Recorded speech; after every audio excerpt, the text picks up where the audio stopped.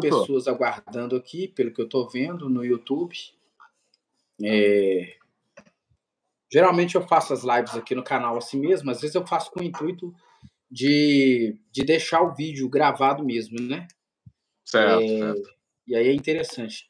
Então, Euler, é, pessoal que está assistindo aí, boa tarde para vocês, bom dia, boa noite, né? Não bom sei dia. que horas que o pessoal vai estar tá assistindo esse vídeo, né? Vai ficar aí no canal. Sim. E, pessoal, seguinte, há uns. Eu já conheci o Euler assim, né? Pelo, pelo Facebook.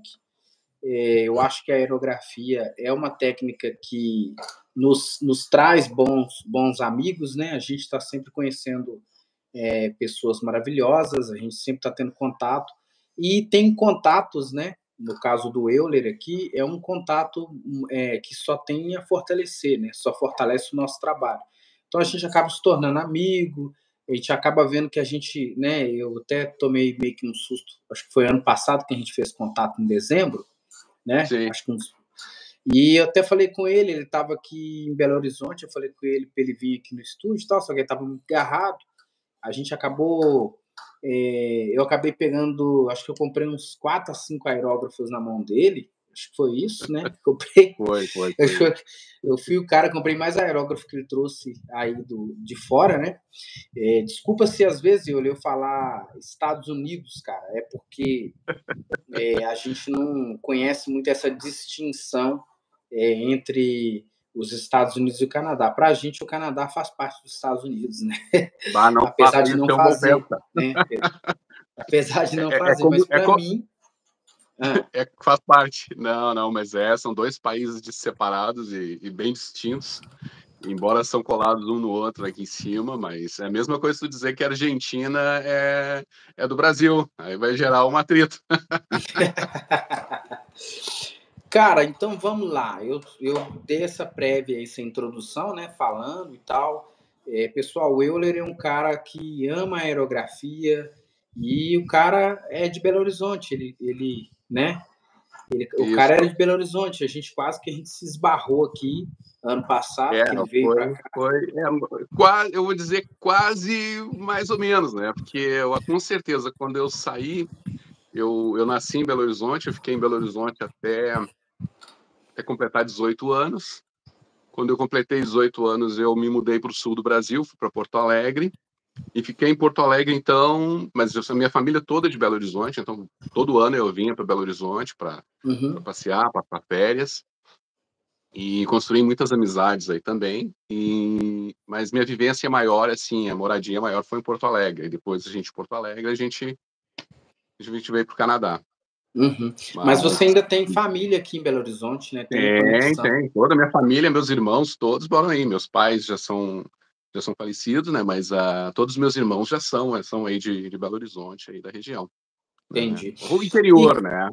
É, então, cara, me fala um pouco aí de você, assim, aqui em Belo Horizonte, o seu primeiro contato com a aerografia, o que, que você fazia? Cara, que, que ideia, que foi, aí mais para frente eu quero que você conta, que ideia foi essa de ir para tão longe assim?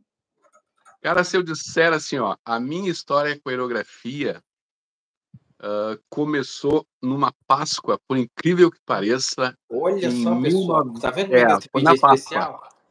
Foi na Páscoa. Não, foi especial quando falou assim, vamos fazer no domingo, tal, às 15, foi domingo de Páscoa. Cara, é muita coincidência, porque foi na que Páscoa bacana. que eu descobri aerografia. Foi, eu trabalhava numa loja que fica em Belo Horizonte, não existe mais, com certeza. A loja existe e ainda vende bicicleta. Fica na Tamoios, ali entre a. Uma lojazinha pequena de bicicleta. Conheço. Entre a Curitiba, tá entre a Curitiba e uma. E, e, acho que é. Como é que é o nome daquela outra avenida ali embaixo? Putz, Paraná? Fugiu. Paraná. Entre a Curitiba e a Paraná tem uma lojinha de bicicleta ali. Sim. E eu trabalhava nessa loja de bicicleta. Foi o meu primeiro emprego aos 14 anos. Nossa. Eu já cedo. fazia arte. Eu já fazia desenho, já pintava com aquarela, guache, fazia muita pintura em cerâmica, porque naquela época era muita moda fazer pintura em cerâmica. Eu comecei a fazer pintura em tela aos nove anos, então já, já pintava em tela há muito tempo, dava óleo. Muito cedo, hein, cara? Comecei cedo.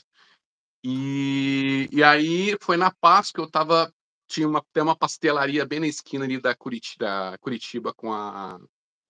Com a conhecidíssima, conhecidíssima. É, eu vou lá direto. Sentei cara. ali, sentei ali para tomar um caldo de cana, comer um pastel. Aí eu olho assim do lado, tinha um cartaz de Páscoa da uhum. Coca-Cola. Uhum. Eu até tenho comigo aqui a impressão desse cartaz, que é esse aqui. Legal. É, deixa eu ver se tá dando para ver aqui direitinho no YouTube. É, tá dando, tá dando. Nossa, cara, muito bem feito, hein?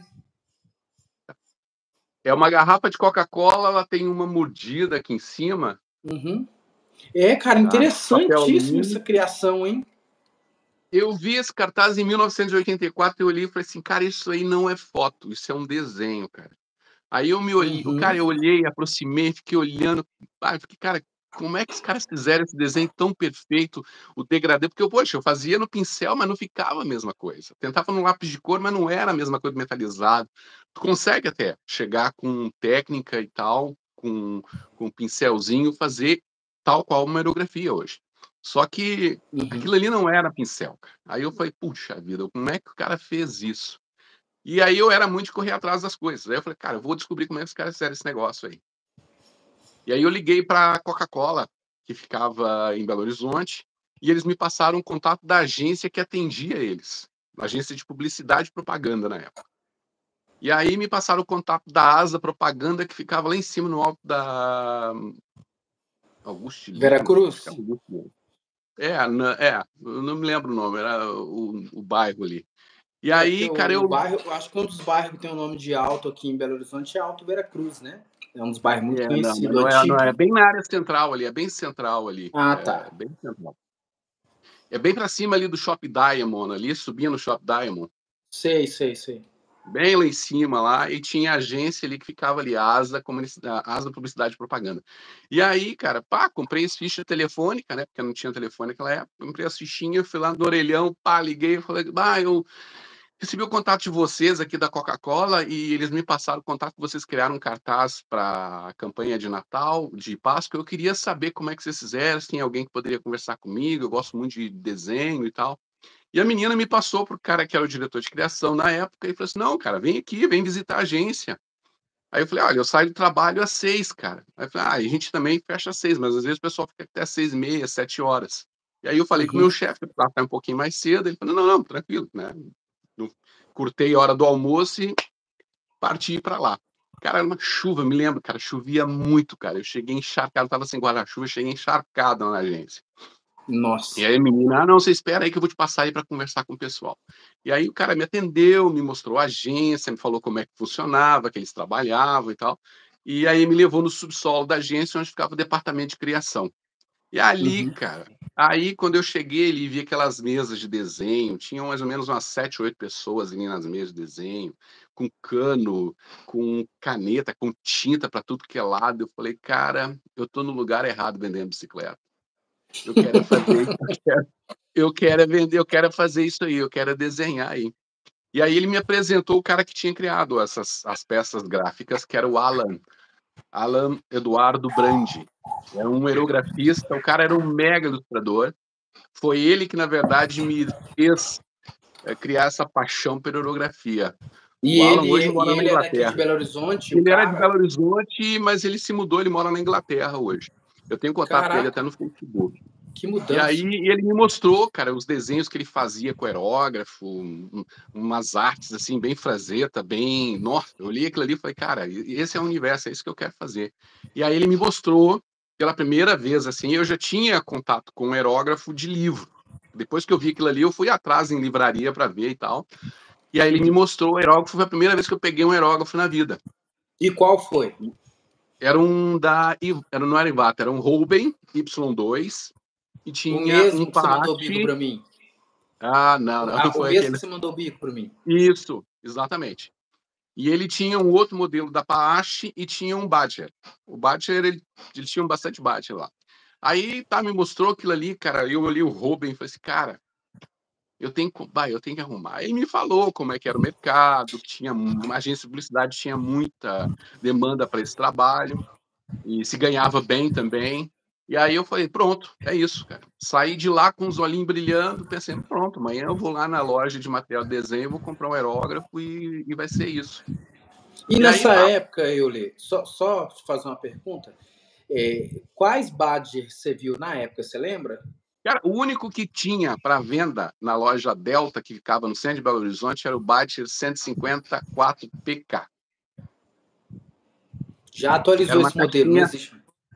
Existe ainda. Ele é uma caixinha, vem uma caixinha de. Vinha, antigamente, uma caixinha de madeira. Vinha, inclusive, com a mangueira azul. O, o tubinho dele, que eu até devo ter aqui só um pouquinho que eu vou pegar aqui. Tá. Então, pessoal, nós estamos falando aí cerca de mais ou menos aí quase isso, essa história do, do, do Euler aí, ela tem aí quase os, quase uns 40 anos, né, Euler? Ele é parecido é? com esse modelinho aqui, ó, só que ele tem isso aqui é azul, é azul uhum. cromado. Ele, é uhum. é bem, ele é bem parecidinho com esse modelinho aqui, ó.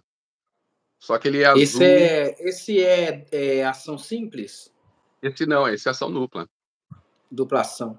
E como Duplação. é que é essa regulagem desse parafusinho que tem na frente do gatilho aí? Esse parafusinho aqui, ele faz das vezes daquela regulagem que a gente tem da agulha aqui. Tu distancia Ah, então aqui. ele é uma trava, ele é uma trava de curso.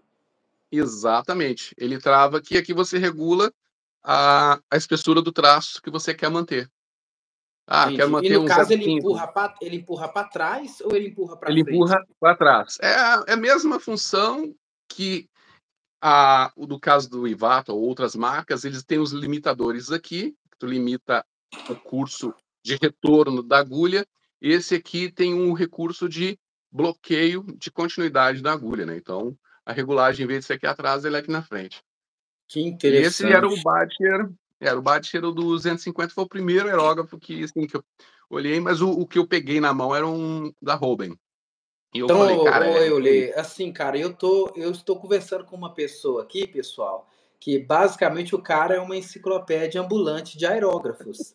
E eu sei que ele é um cara, porque eu, como eu sou um cara que comecei muitos anos depois dele, muitos anos mesmo, né? Digamos aí que uns 30 anos depois que dessa história dele, eu tenho o costume aqui de pegar a maioria dos aerógrafos que eu uso são modernos, né? Mas eu pude conversando com o Euler assim um pouco que eu conheço ele, eu sei que ele é um cara, ele gosta muito assim de, de, de dos lados antigos. É, ele chegou eu... a me mostrar eu creio que ele vai mostrar alguns, mais alguns modelos para a gente aí, de umas raridades, umas coisas que a gente.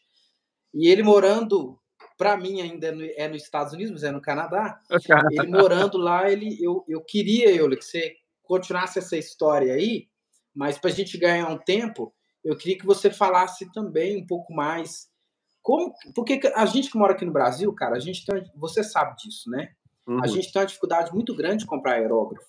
A gente tem uma dificuldade Sim. muito grande de comprar é, coisas para aerografia, porque é muito caro. Eu queria que você falasse um pouco desse contraste, como que é aí então quer dizer que agora tá. aí você pode ter o tanto de aerógrafo que você quiser. Como é, como é, é que é? é?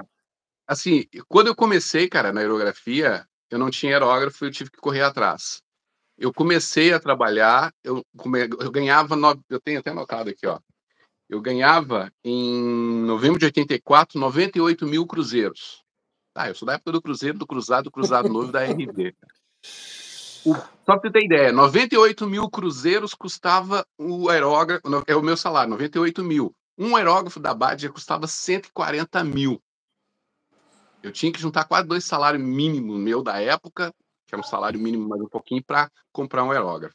Eu fui Ou comprar seja... meu primeiro aerógrafo, cara, em março de 86 eu ganhava 804 cruzados. Eu comprei um modelo da ITNK B200 por 1.200 cruzados. Juntei Você tem esse aerógrafo de... ainda, cara? Tenho. Tenho. Ah, pessoal, olha, vai mostrar, cara. E ó. Olha isso, galera. Tem como você tirar ele da caixa pra gente dar um close tem, nele? Tem. você dar um close Esse aí legal. Aí assim, eu me inspirando no cartão de visita do Alan, eu tinha feito o meu próprio cartãozinho aqui, ó. Não tinha nem telefone, nem e-mail, nem site, nem nada, cara. Era só cartão mesmo, com nome. É, nós, estamos falando, estamos falando aí da década de 90, pessoal. 80. 80, mais a, a década antes. Esse aqui, cara, ele é o AB200, é o ITNK AB200. E que marca tá? que é essa? A Itenic, na verdade, ela é uma. No meu conhecimento, assim, de, de tentar aprofundar, a Iwata, na época, e a Rispen, elas fabricavam marcas aleatórias para venda no mercado. A Itenic, para mim, ou ela é da Rispen ou ela é da Iwata. Ele é exatamente o modelo o HPB.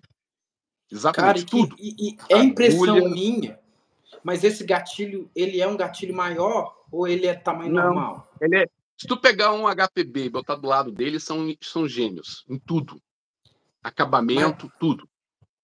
Mas tudo. isso aí deve fazer um traço, talvez até mais fino que o HPB, né?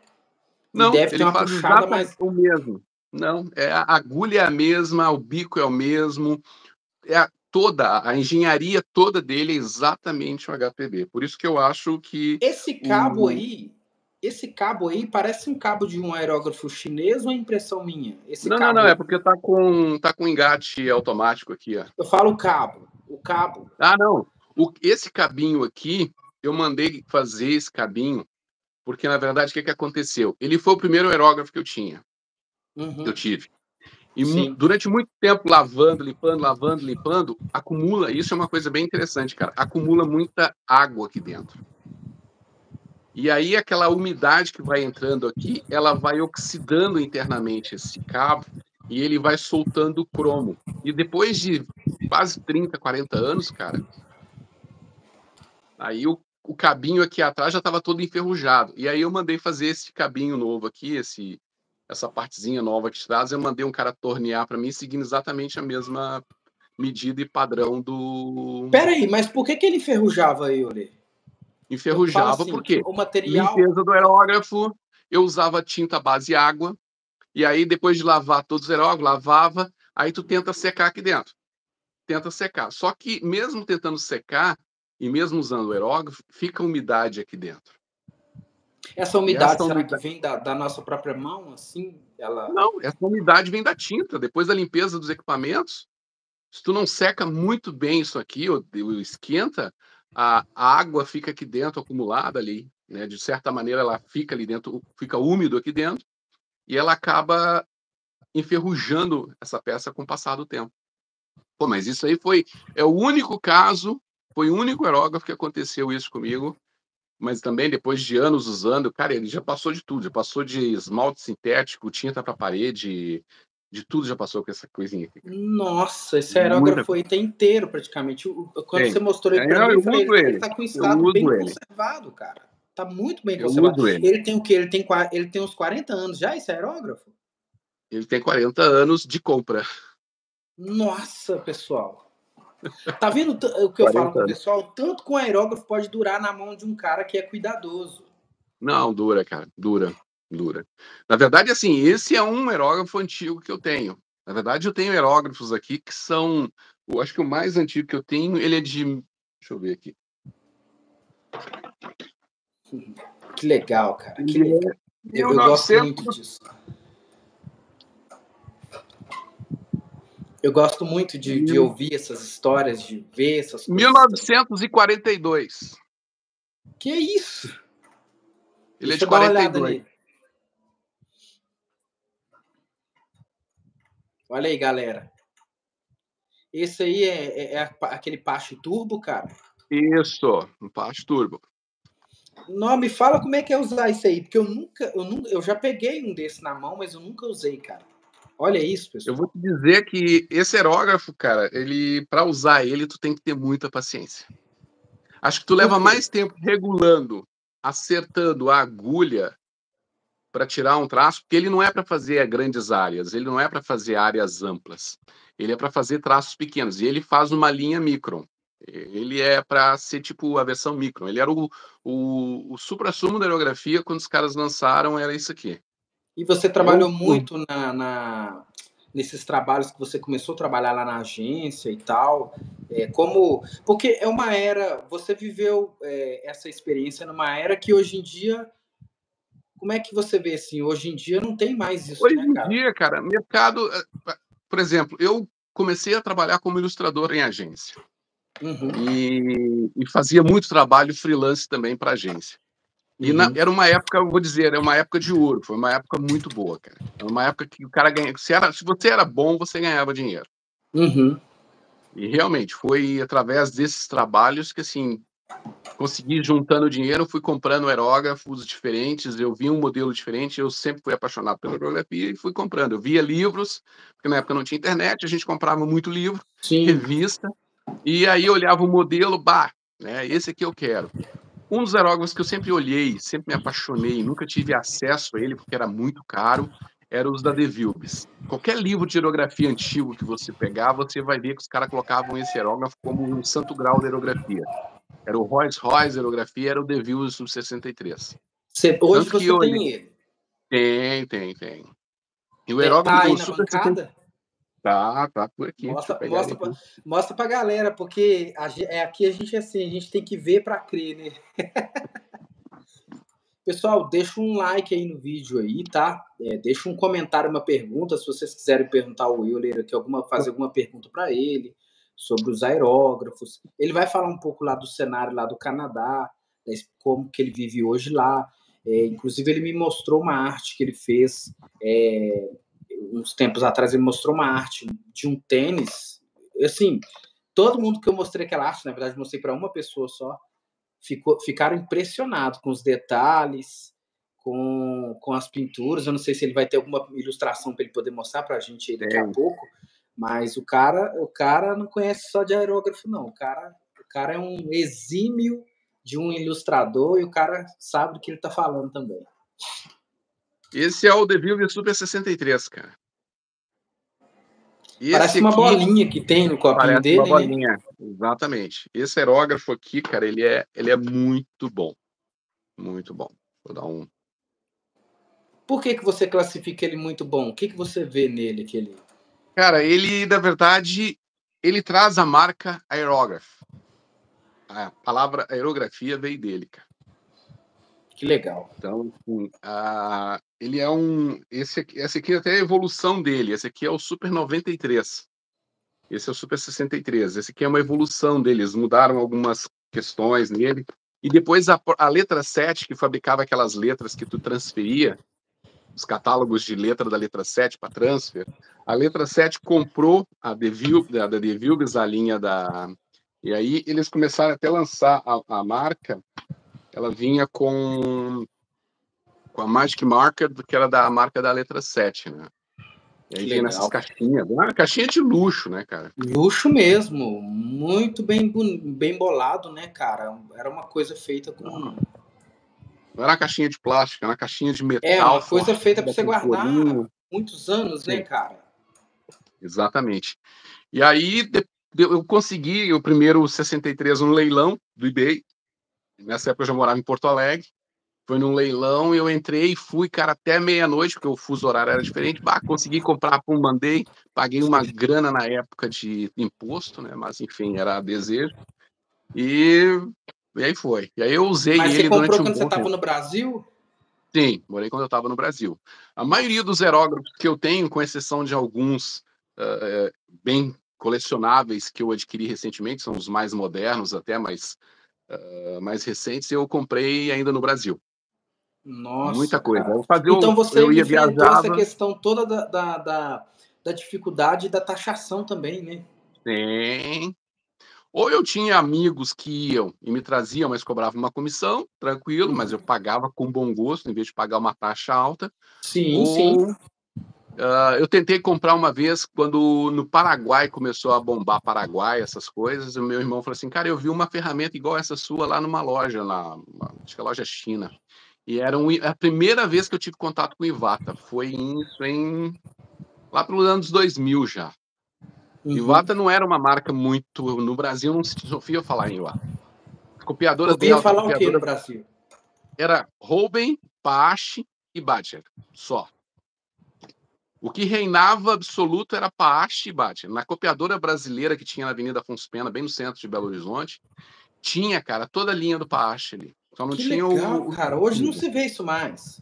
Não, não Hoje mais. você vai na é copiadora porque... Universal, você encontra um gato, encontra Cara, eu vi, acho que eu vi um, um Ruben lá ainda. Acho que eu vi.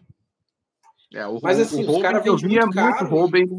É, o Ruben era absurdamente caro. Eu, eu passava todo dia, eu saía da, da loja ali ou da agência, olhava lá, ficava babando na vitrine e falava assim, ah, um dia eu vou comprar. Não só aerógrafo, né, cara? Era tinta, máscara líquida, uh, frisk filme, tudo isso eu tinha lá e eu, eu olhava e falei, mas olha que, né, é ruim não ter dinheiro, né? é ruim ser salariado, né, cara? É verdade. E aí foi, e aí foi. E eu trabalhei com, com ilustração durante muitos anos. Com ilustração profissional para agência, fazendo muito trabalho, uh, pra, principalmente para embalagem e para revista. Então tinha de tudo. Porque na época era muito, não tinha computação gráfica, não tinha ilustração digital, então era tudo tinha que ser na, na mão grande mesmo, né? Só que aí o que, que acontece, cara? O, chega num momento que entra o computador na vida, né? E aí o cara pensa, pô, acabou meu mundo. E aí eu me embrenhei em fazer um curso de computação também para poder fazer, assim, ah, não, eu vou ter que, né, vou ter que surfar nessa onda também. Não vou largar a aerografia, mas eu vou surfar nessa onda também da, da computação digital. E aí eu comecei na questão da ilustração digital, comecei a trabalhar também com essa área, mas continuando o foco com, com, a ilustração manual, que era o que vendia mais, que é o que tinha eu, eu, eu, vou dizer assim, eu podia ganhar mais dinheiro ainda com a ilustração convencional. E aí eu fiz muito trabalho. Ah, com certeza tem muito trabalho que eu fiz que ainda está em circulação no mercado. E tem muita ilustração que eu fiz. Fala um trabalho certeza... aí, um trabalho assim que você fez, que você. Eu vou mostrar um clássico aqui que eu fiz. E com certeza eu vou mostrar, vocês dizer assim, bah, eu já vi esse desenho em alguma embalagem. Uhum. Deixa eu ver aqui na tela do computador, porque aqui é um pouco difícil eu enxergar. Ah, cara, da batatinha, né? Isso. Nossa, olha os detalhes, pessoal. Cara, isso, isso. isso aqui, olha os detalhes. Isso aqui é reprodução, porque todos os originais que eu tinha na época, eles ficam com a agência, não ficam com o ilustrador. E aí eu tinha o que? Eu tinha a reprografia dela, que eles escaneavam ela em alta resolução para colocar nas embalagens, né? E aí eu pegava o arquivo digital e guardava num, não é nem CD negócio, eu guardava num flip flop disk. Disquete, e aí depois né? eu transferi. É um disquete. Essa aqui foi feita para embalagem de batata chips, né? Aquelas tipo Ruffles, né? Uhum. E, e aí, e aí tinha também outros produtos, tinha. Vou pegar aqui do, da reprodução do digital. Caramba, velho. Deixa eu dar uma olhada na tela aqui que eu consigo ver com mais detalhes. Mas, nossa, muitos detalhes, hein? Meu Deus. Eu As digo texturas. uma coisa até conselho, cara. A aerografia, assim, ela é complementar no trabalho de ilustração. Ela não é, ela, você consegue realizar um trabalho sempre só com aerógrafo mas ele sempre vai ser complementar no trabalho. Tu vai ter lápis de cor envolvido, tu vai ter a borracha elétrica no convívio, tu vai ter lápis, tu vai ter uh, lápis de cor, tu vai complementar com pincel, tu vai complementar com tinta no pincel também, porque isso ajuda e enriquece o trabalho e não deixa ele tão duro e chapado como eu tinha. Eu tinha um diretor, um chefe meu, antigo diretor de criação, ele falava, cara, a aerografia ela é maravilhosa, mas se tu trabalha só com aerógrafo, sempre só com aerógrafo puro, seu trabalho fica chapado, ele não ganha, ele não ganha vida, ele precisa de alguns detalhes que sejam puxando na borracha elétrica, que seja um detalhe com um pincelzinho, que se para dar um para puxar um pouco, para tirar um pouco daquela questão dura que é a aerografia. Ela é uma arte chapada, né, cara?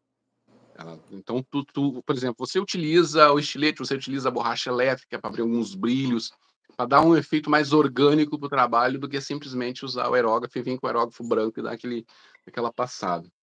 Entendi. Eu trabalhei muito com produto orgânico, né, cara? Então tem muita ilustração de fruta. Muito bonito.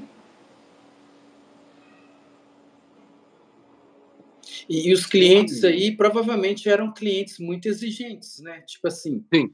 Não pode ter um defeito, não pode ter uma falha. Né? Não, né? porque tu não, tu não tem margem para erro, né? É aquilo ali, tu fez a ilustração, o cara vai pegar a tua ilustração, vai escanear em alta resolução, vai mandar para a empresa que vai fazer a aplicação, né, da, na embalagem ou na camiseta, enfim, no produto e, e aquilo vai, né? Uhum. E aí vai. Já fiz trabalho, deixa, eu fiz deixa trabalho. Eu ver só uma pergunta aqui, Olê, que o pessoal está hum, fazendo aqui. A gente já teve um pico de mais ou menos com as quase 30 pessoas na live, mas Opa, agora eu, eu queria, eu acho que o Kleber colocou uma coisa ali, o Weber Siqueira também. Aí, pessoal, pode mandar as perguntas aí que eu vou mandar seus comentários que eu vou ler aqui, tá bom? É, o Weber Siqueira está perguntando, boa tarde, ele está dizendo, né? Boa tarde para você também, Weber. Ele está dizendo, ainda fabrica Devilbes hoje? Ele está perguntando se Sim. ainda fabrica. A Devilbes, ela, é, ela fabrica, tem o DAG, DAG, que é a marca de aerógrafos da Devilbes. Ela é mais na, ela é mais em, no Reino Unido que tu acha eles. Aqui se encontra também, mas muito pouca coisa. Ele é aerógrafo caro. Não, não. Da linha nova da Devilbes eu não tenho. Eu não tenho. Eu não. É que assim, ele já deixa de ser fabricado em Londres, ele passa a ser fabricado na China. E aí para mim já perde, perde qualidade. Perde, cara, perde. Não. Tu troca, tu troca o teu Iwata por um aerógrafo chinês? Não. Igual. Ah, igualzinho. Igualzinho. Não. Não, não troca. Entendi. Entendi. O Kleber é, tá colocando eu... assim, ó. Salve aí, Kleber. Valeu pelo comentário. O Kleber, o Kleber tá falando assim, ó. A Devilbes é uma das pioneiras na fabricação de aerógrafos. Porém, os novos artistas desconhecem esse fato e também como eram bons os seus modelos. Hoje, eles, eles fabricam apenas dois modelos do DAGR. Exatamente. O que, que, que, você tem a falar um... sobre, sobre esse comentário aí do Kleber? Aí? Você quer complementar? Não, mas é real, é real. Uh, as, a, as vale grandes fábricas de, de, aerógrafos no mundo é a Paache e a De Vilbes, né, principalmente no Reino Unido, que, que, que é onde tinha, assim, eu tinha como Reino Unido como o, o foco de ilustração uh, tradicional. Tanto que os livros, grandes livros de aerografia, quando eles traziam exemplos de estúdios, eram estúdios de Londres, e vinha sempre aquelas fotos, aqueles estúdios gigantes, os caras trabalhando com aerógrafo, e todas as revistas e livros mais antigos trazem os modelos da aerógrafos da De Vilbes como exemplo de qualidade, de, de traço, de acabamento, e, e aí tu pega em contraponto com as revistas e livros de ilustração japonesa, que tinha muito, né, Illustration, é, Art em Japão, Illustration em Japão, uh, eles trazem muito os aerógrafos da Olympus e da Iwata e da Rouben é a questão de mercado, né? Vão trazer, vão vender o peixe, vão vender o peixe no meu país, né? Uhum. Meu conhecimento dos aerógrafos da Iwata foi ali nos anos 2000 que eu comecei a ter conhecimento. O meu primeiro aerógrafo da Iwata foi um HPSB. Depois eu comecei a trabalhar numa agência de ilustração, no estúdio de, de, de aerografia em Porto Alegre. Não em Porto Alegre, São Leopoldo, uma cidade do lado ali. E era o primeiro, o único aerógrafo que eu trabalhei durante cinco anos direto, quando eu trabalhei nesse estúdio, era um HPC. E eu me apaixonei com aquele aerógrafo. Para mim, ele era.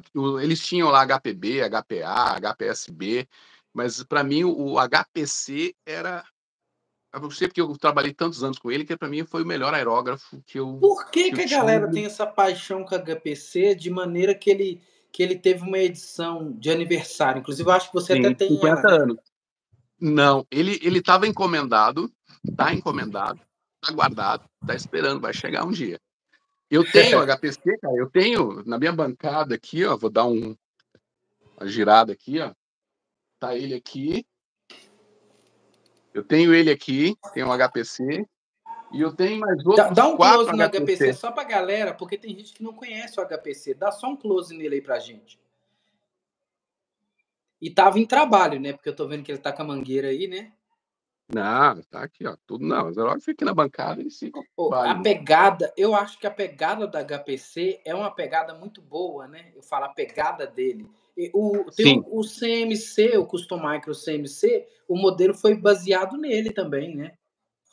É, o, o, HPC foi um modelo que a, que a HPA, HPB e APC foram os modelos que a Iwata e as outras tiveram maior sucesso. O HPC fez mais sucesso por causa desse copinho maior de tinta dele. E quem trabalha com aerografia e trabalha com arte durante muito bom tempo, bom, durante um bom tempo, sabe que um, um copinho grande faz uma grande diferença para quando quer trabalhar, fazer um trabalho de um trabalho grande de ilustração, como eu fazia na época para agência. Vou trabalhar com fundo, cara. Pô, toda hora eu ficava ali no HPA, no HPA, no HPA, botando tintinha ali naqueles copinhos, que se dá uma inclinadinha de leve, ele já pum, já pinga Sim, tinta. Não pode encher. Não dá para encher. Não tinha copinho, não tinha tampinha, não tinha nada. O HPB Exato, mesma coisa. Não tem tampinha, coloca ali um pouquinho de tinta, vai, tu vai fazer um chapado, uma área grande, que a gente na época fazia ilustrações grandes para se ter um maior nível de detalhe, assim, de realismo para poder ó, vender para o cliente. Aí, ó, pessoal, ele soltou outra coisa muito importante. Quando tu vai trabalhar com, com realismo, quando tu faz a redução, ilustrações tipo essa aqui, ó, cara.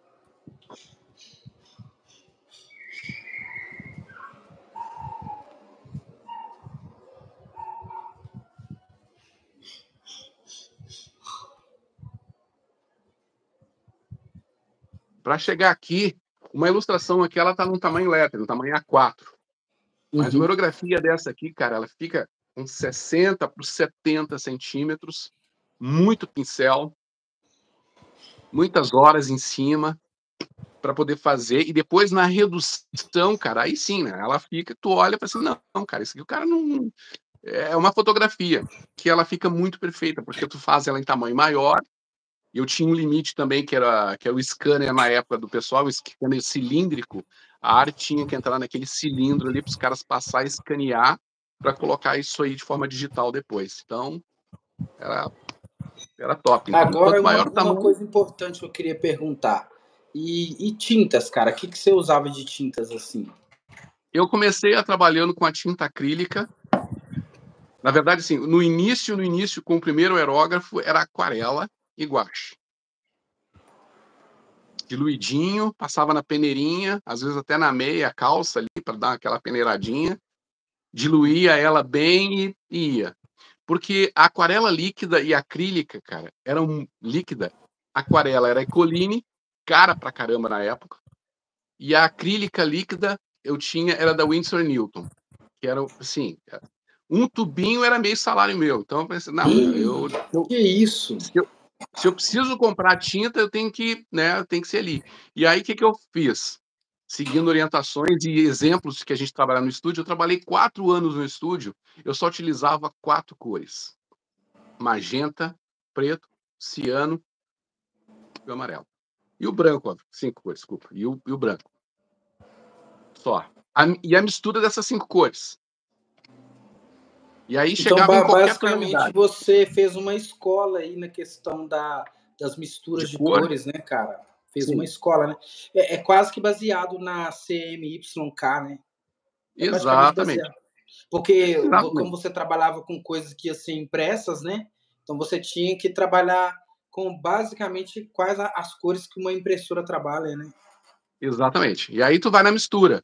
Pega, bota, tinha uma paletinha do lado, com de papel, que aí eu fazia mistura ali na, na, no godê, misturava, misturava, misturava. Agora, a merda é quando tinha que fazer uma grande área e tu fazia toda a mistura da tinta, chegava no tom perfeito, aerografava tudo e chegava bem no finalzinho, faltava mais uma tira para aerografar, tu tinha que achar de exatamente aquela mistura de cor que tu fez ali para isso aconteceu muito quando a gente estava, quando eu trabalhava no estúdio, a gente estava fazendo um trabalho para Fox, que eram os desenhos dos Simpsons.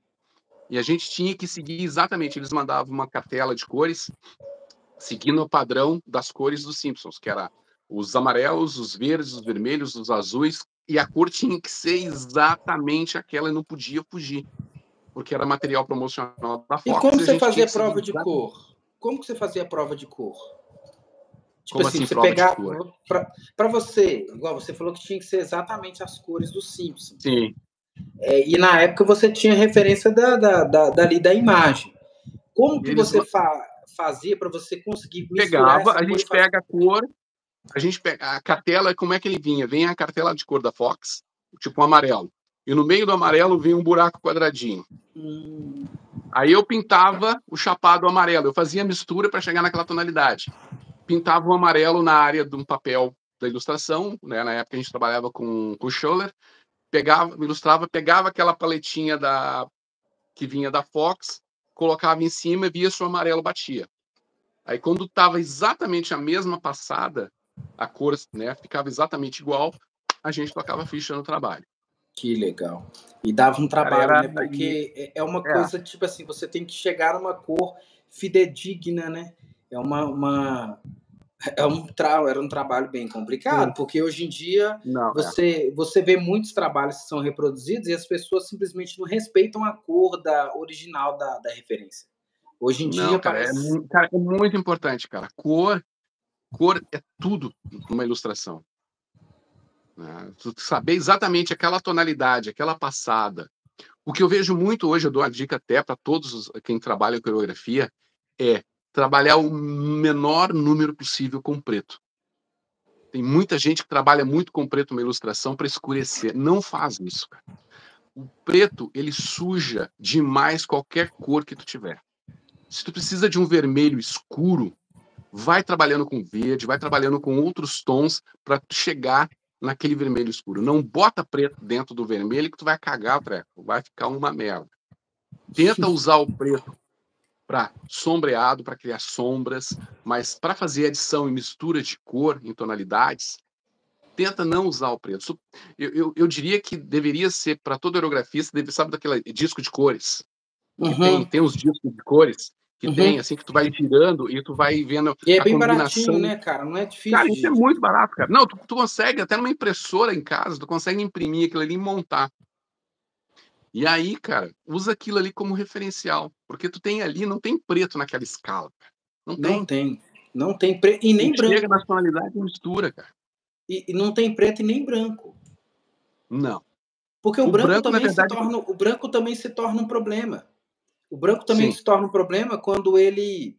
Porque é, a nossa é, arte é uma coisa que a gente trabalha muito a ilusão, né?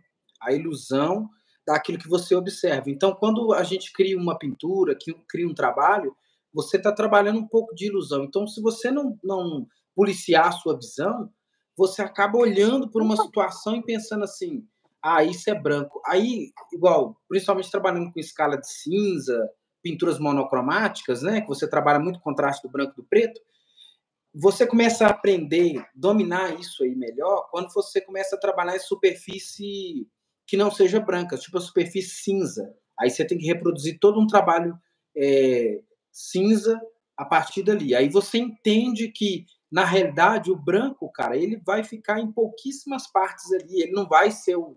Ele não vai dominar tudo. Então tem esses dois problemas eu vejo que quem usa muito preto suja muito o trabalho, igual você pontuou muito bem aí, e tem outras uh, questões que a pessoa quer usar o branco para a luz excessivamente. Aí também não, não. acaba estragando o trabalho também. Eu prefiro para branco, cara, eu prefiro usar isso aqui, ó. Tu deve ter aí também, que eu geralmente quando eu vou no Brasil eu trago. Ó, oh, por que, que você gosta das BR, hein? Pode falar. Cara, na verdade, esse lápis borracha aqui da Fábria Castel, cara, ele, ele vale ouro, cara. Isso aqui tu não acha aqui fora. Tu não acha aqui, não acha dos Estados Unidos, não acha esses lápis da borracha da Fábria Castel. Ele parece e... que ele tem um grãozinho, ela retira muito melhor. Sempre que eu vou no Brasil, eu trago esses, essa, esse lápis. Você compra caixa, então, quando você vem para cá, né? Não, eu compro, sei lá, compro 5, 6, 7, porque é dura Geralmente caramba. você compra na, na, só, acha só na loja da leitura aqui em Belo Horizonte, né? Na leitura, isto. É, não tem, não tem outra loja que vende a não ser a leitura. É, vamos não, ver é só se tem algum comentário aqui. É, o Web Siqueira está dizendo assim: ó, interessante, muitos pensam que é só aerógrafo que deve ser usado. Ele está falando não. das técnicas que você citou.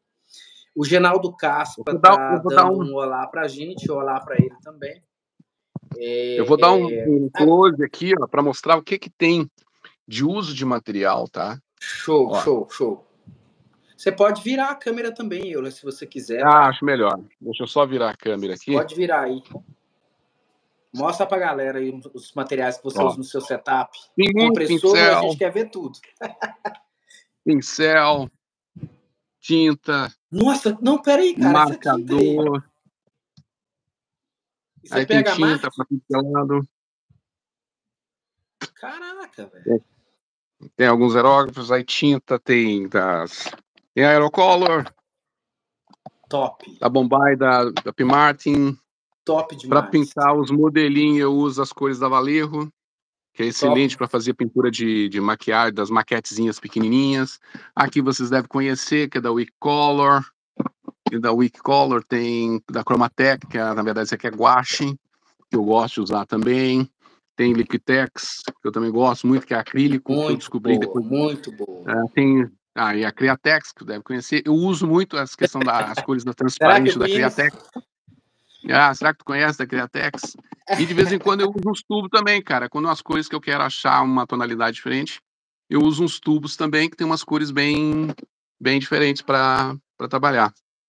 Mas é isso, cara. É... E aqui tem, né? O... Essa, essa lindeza aqui que eu acho linda, esse aerógrafo da, da Hader, né? Esse é, que é o Giraldes. Esse é o Giraldes. Top, muito bonito, hein? Esse aerógrafo eu acho lindo. Cara. Bonito esse, esse aerógrafo.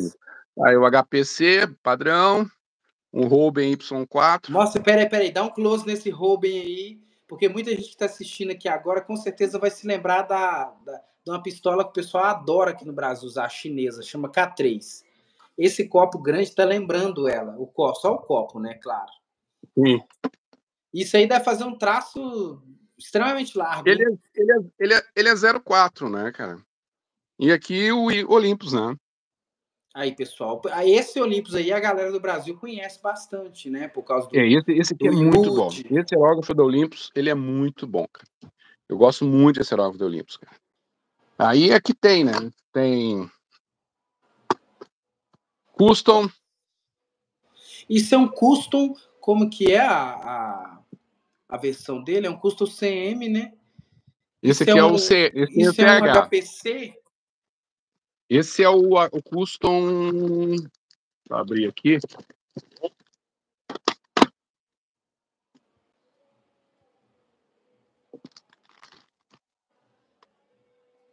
Difícil abrir isso com a mão só, né, cara?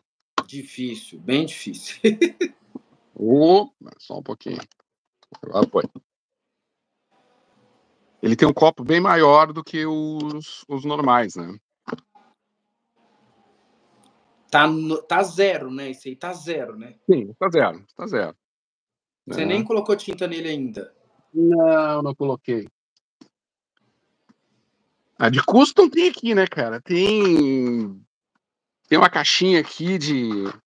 Isso aqui é meu certificado de aerografia, que eu resolvi fazer um cursinho de aerografia em 87, em Belo Horizonte, com esse cara aqui, ó, Fernando Vignoli, que era um mestre de aerografia aí no Brasil. Aqui tu deve saber de quem que é essa caixinha, né? Gallery. Ah, tá, tá. Agora lembrei. e aqui tem, né, cara? Tem Micron, que algumas das coleções. Esse é o. Esse aí é da caixinha vermelha ainda, né? A caixinha, é a caixinha. Vermelha. Esse é o S. O C. CMC. Isso, esse é muito bom. Esse, para mim, que é um. É como se fosse uma. O design dele é parecido com o HPC, né? Sim, ele é parecido com o HPC. Na verdade, ele é um HPC melhorado, né? Melhorado. Nossa, esse aí é o melhor dos melhores. Cara, eu assim, eu tenho dúvida se esse aqui, se o H, se o SB é o melhor ou se o Micron esse aqui é outro micro também. também tá eu, tenho du eu tenho dúvidas entre o HPC Plus. Não. Bom, CMC Plus. Sim. CMC Plus. CMC Plus, eu acho que. Eu acho que ele é o melhor aerógrafo. Não, esse cara aí, meu Deus, que aerógrafo gostoso de usar. É, esse é o CMC Plus, ele é muito bom. E a agulha, ele assim, ele de todos os da Micron, ele para mim ele é um ele é um supra-sumo assim, cara. E esse aqui, cara, é o é, esse aqui é o xodó do Gerald Gerald Jimenez. Tem HPB. esse HPB que ele usa muito. E o é um, outro. Um colega aqui do Brasil da aerografia, um amigo aqui, o, Carlinhos do Rio, né? não sei se ele está nos uhum. assistindo aqui agora, ele tem um modelo desse aí, cara, só que o modelo versão 2, que esse aí, esses, todos que você mostrou aí, da caixinha vermelha, eles são da versão 1, né? Do, tu diz por causa do gatilho. A única diferença é por causa disso aqui, ó. É, é, esses versão 1 que você tá com eles aí, eles ainda tem aquele parafuso atrás, próximo ao cabo?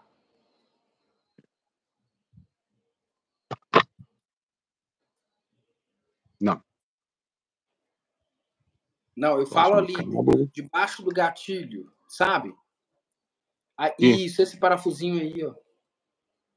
Porque os, os, mode, os modelos novos não têm esse parafuso.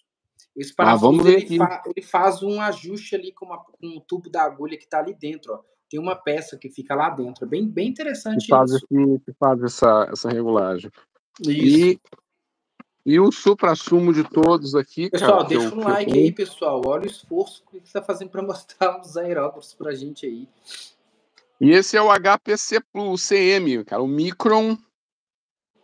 O Micron. CMC Plus, viu? porém com o copo muito alto, né? Não, esse é o CM, cara. Esse é o Custom Micro CM. Esse aqui Quantos é ml o... que tem isso aí? Cara, esse aqui, cara, boa pergunta. Boa pergunta. Deve ter uns 80 ml aqui, cara. De 40. 40, 60, acho que deve ter uns 60, 60, 70 ml aqui. É um senhor copo, cara. Será que não pesa todo... na hora de você estar tá pintando? Não, cara, não. Ele é um aerógrafo, sim, ele não é um aerógrafo leve. Se tu pega ali, tu dá uma curtida no, no canal do Geraldo Mendes, esse aqui é o aerógrafo que ele mais utiliza nos vídeos dele, faz mais propaganda. É esse aerógrafo aqui que ele faz propaganda dele. Será que esse modelo aí foi baseado em algum artista? Algum artista que, que inspirou? Não, na verdade, o que, que acontece, cara? A Iwata, ela, ela lançou uma coleção. Eu vou mostrar aqui para vocês. Deixa eu só organizar aqui a, a bagunça, ela lançou um modelo de, de aerógrafo e fez muito sucesso. E esse modelo de aerógrafo, depois que ele fez sucesso, eles lançaram uma, um, uma, um especial, que é esse aqui, ó. Essa maleta aqui que eu, eu guardo ela com carinho também, ó. Essa maleta da Custom, essa maleta da Custom foi a edição especial que a Iwata lançou, cara. Aí vem aqui vem o manual, vem a mangueira, e aí vem toda, todos os custom. Vem o CS, o CM, vem o CH, vem essa. O T, esse aqui é o, o, o HPTH. Uhum. E e esse aqui também, que é um xodó. Vai até cair o copinho. Que é o TR. É o Custom TR. Todas elas são custom. Todos são custom. Toda a linha custom. Que a Iwata lançou essa edição limitada e não vendeu mais. Nenhum deles, a não ser com exceção desse custom do TH aqui. Inclusive eu tenho outro dele aqui fechado também, ó. Que é esse aqui que aí ele não é custom. Ele é o tradicional esse aqui ainda, a Iwata tem esse aerógrafo ainda na linha, mas esses outros aqui ela não trabalha mais. Foi a edição exclusiva que ela lançou dessa linha de aerógrafos aqui. Nossa, interessante. E, e, veio nessa mala mesmo, né? Do jeitinho que tá. Veio aí. nessa maletinha mesmo. Essa maletinha aqui da Custom, da Iwata Custom.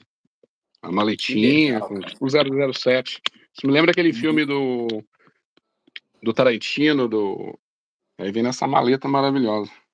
Muito bonito mesmo. Isso é um adesivo ou uma pintura, esse custom aí? Aqui é um adesivo. É um adesivo uhum. deles. Uma maleta e você metálica. comprou isso quando estava no Brasil, cara? Ou quando estava. Não, essa aqui eu comprei aqui, cara. Esse foi o único que eu consegui achar aqui. Me conta aí, então, a história aí. no Brasil, é, no Brasil você... tu não acha essa maleta, cara. Como é que é? No Brasil, no Brasil tu não acha essa maleta. Cara. Acha não, acho não. Não. Se tivesse a maleta no Brasil, cara, o cara para comprar ela no Brasil, por baixo ele vai pagar aí quase uns 20 mil reais, infelizmente. Nossa, muito, muita grana. Porque se é, pegar que item que você... item separado hum. aqui de cada um dos aerógrafos da linha Custom, o HP, se der pesquisada na internet, o HPC, o CH, ele está na faixa de 900 dólares, só ele. Só Nossa, ele. muito caro.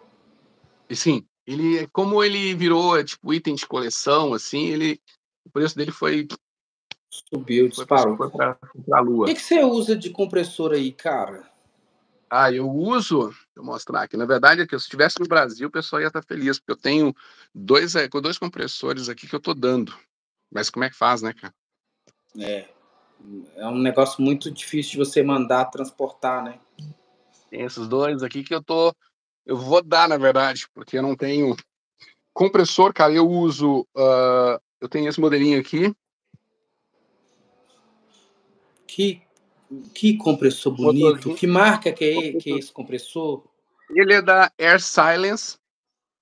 Aquele motorzinho de geladeira silencioso, ele tem um reservatório Nossa, de um maravilhoso, né? Deveria ser e o outro, e o outro que eu tenho é esse aqui, com um reservatóriozinho, que eu, de vez em quando, quando eu preciso fazer um trabalho de pintura na rua, eu levo ele, que ele tem um reservatóriozinho maior, ele é mais portátil, é mais leve, e aí eu utilizo ele para levar.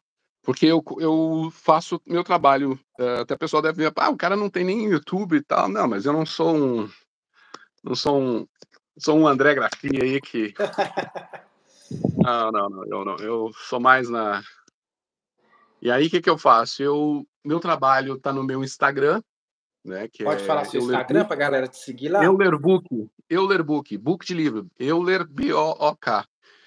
E é um trabalho que eu faço, de, já vai fazer seus 15 anos, que é um trabalho de anatomia humana que é vinculado com a pintura corporal. Então, eu pinto os músculos e órgãos no corpo do modelo vivo para as aulas de anatomia em universidades, em escolas, ensinando anatomia humana pela pintura corporal.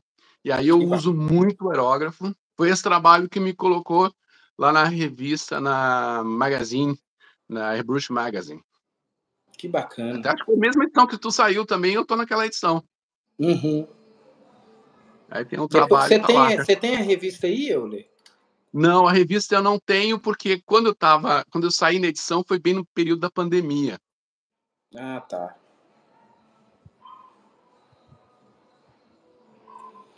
A transmissão deu uma falhadinha aí, pessoal. Vamos esperar ela dar um retorno aqui com o Euler. Eu não sei o que, que houve. Deixa eu só comunicar para ele aqui. Via WhatsApp. Talvez deve, deve, ter, deve ter falhado. E aí a gente retorna aqui. Beleza? E aí eu vou trocando ideia com vocês aqui, vou ler os comentários. É, deixa eu pedir ele para ele tentar aqui novamente. Deixa ele ver se, eu, se ele consegue entrar, né? Se ele consegue conectar. Só um minutinho, pessoal, que eu estou usando o teclado aqui do computador para poder mandar essa mensagem para ele. Deixa eu ver se ele consegue entrar pelo convite, senão eu tento aqui para a gente poder, né, dar seguimento, que a gente ainda não terminou, tá? Aí, cara, graças a Deus o cara voltou, pessoal. é... E aí, cara, eu, na verdade, o que que acontece? Um, esse trabalho de pintura corporal que eu estava falando, então, e foi a época assim, saiu da revista, eu não tive condições, na pandemia, sem dinheiro. Cara, era muito caro também a revista ali. Eu falei, não, depois eu compro. Eu estava já com em mente que a gente ia se mudar para cá. Eu falei, ah, continuar no Canadá eu compro. Mas ainda não, não, não, corri atrás ainda, porque até a revista parou de vender edição impressa, agora é só versão digital, né? Então. Entendi, entendi. Aí você vai ter que comprar a versão digital e imprimir lá. Ou então imprimir. Não, não, mas eu, eu consigo, eu até acho, eu sei onde eu tenho a versão impressa dela por aqui, que eu consigo pegar ela. Mas é falta de tempo mesmo, falta de ir lá e pegar e guardar. E... Tá bom. Então me conta aí, cara, como é que é a sua vida aí no. Hoje você está no Canadá? Qual parte do Canadá hum. que você está? Eu estou em Vancouver, que fica aqui bem na fronteira com os Estados Unidos, aqui é 45 minutos da, da fronteira. Então, eu estou a duas horas e pouco de Seattle aqui, que é uma grande cidade dos Estados Unidos. E em Vancouver, cara, Canadá, assim, cidade maravilhosa, tem, né, não tenho o que dizer da cidade, a gente gosta muito de morar aqui.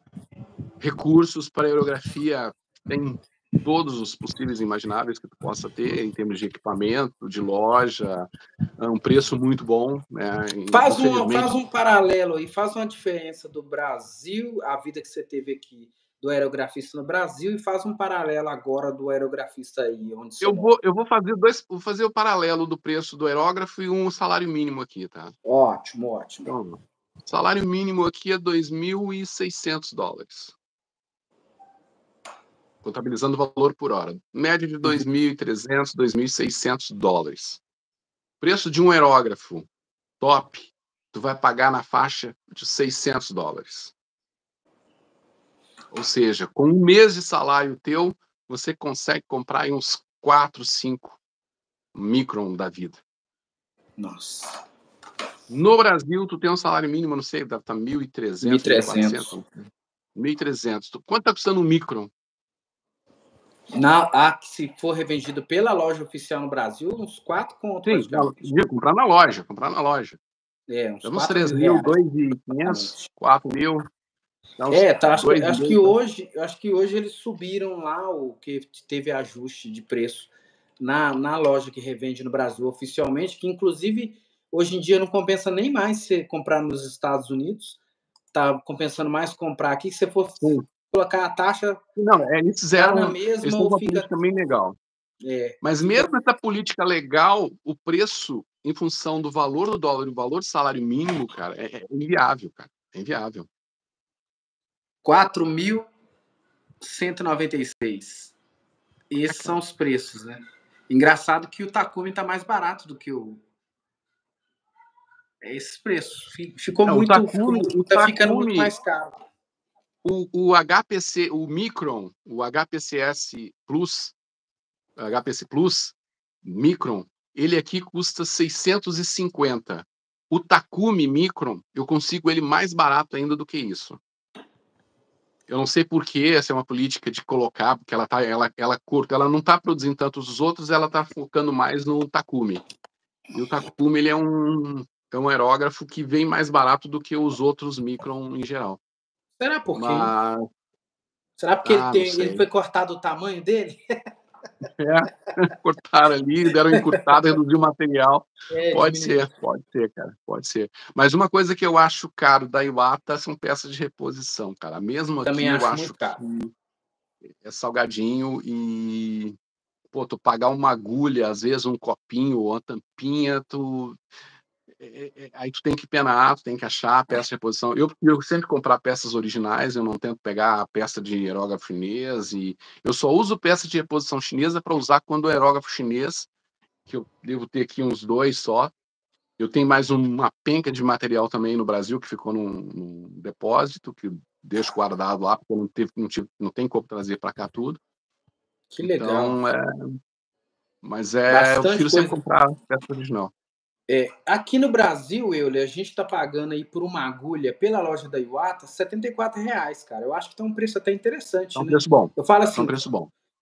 É, por exemplo, um bico aqui a gente está pagando. Tem bico aqui, ó, bico de do Nel tá 170, do Eclipse tá saindo mais ou menos uns 200 reais, 198, né? É, da uhum. série High Performance tá um pouquinho mais cara, 300 reais. Mas se a gente for importar, a gente vai pagar muito mais caro, cara.